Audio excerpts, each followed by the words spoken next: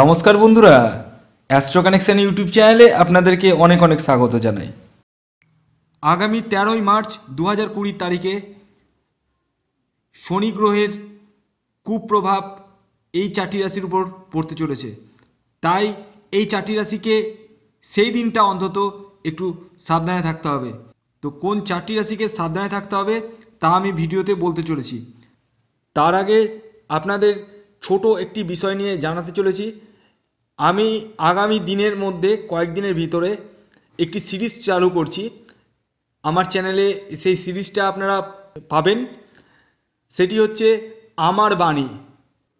এই আমার বাণীটা কি সেটা আমি বলে দিচ্ছি। প্রতিদিন সকাল সাতটার সময় করে আপনারা আমার ভিডিও পাবেন। সেই ভিডিওতে আমি আপনাদেরকে বলব যে কোন সময় আপনারা শুভ কাজে বেরাবেন এবং কোন সময়টা আপনারা অ্যাভয়েড করবেন। যদি আপনারা সেই সিরিজটা চান, তাহলে অবশ্যই লাইক করে আমাকে জানান। এবার আসি মূল আলোচনায়।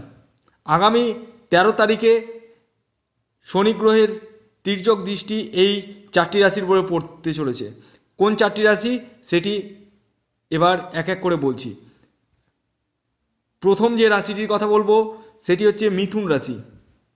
হ্যাঁ বন্ধুরা, মিথুন রাশির জাতক ও জাতিকারা এই তেরো তারিখ একটু আপনারা ভালো কোনো গুরুত্বপূর্ণ কাজ করতে যাবেন না এবং রাত দুপুর বারোটার পর তো করতেই যাবেন না। এরপরে যে রাশিটির কথা বলব, সেটি হচ্ছে কর্কট রাশি।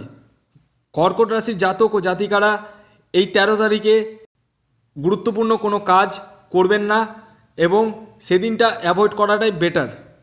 এরপরের যে রাশিটির কথা বলব, সেটি হচ্ছে ধনু রাশি। ধনু রাশির জাতক ও জাতিকারা, এই তেরো তারিখের ডেটটা আপনারা কোনো রকম ভালো কাজ করতে যাবেন না। মানে মেন কথা হচ্ছে, সেদিনকে কোনো শুভ কাজ আপনারা করতে যাবেন না। এরপরে লাস্ট যে রাশিটির কথা বলব, সেটি হচ্ছে কন্যা রাশি। কন্যা রাশির জাতক ও জাতিকারাও এই তেরো তারিখে কোনো রকম শুভ কাজ আপনারা করতে যাবেন না। তো আশা করি আপনাদেরকে ভিডিওটা ভালো লাগল। ধন্যবাদ।